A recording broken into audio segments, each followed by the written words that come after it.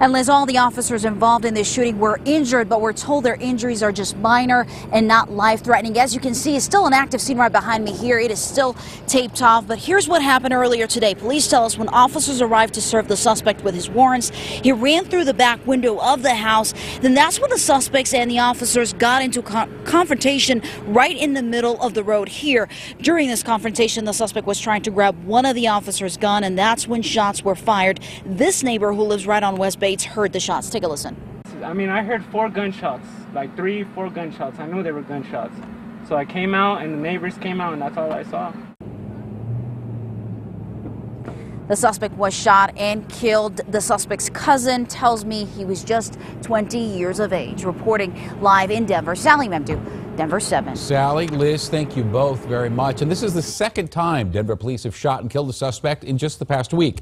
Over the weekend, they shot Terry Salazar when they say he refused to drop a knife.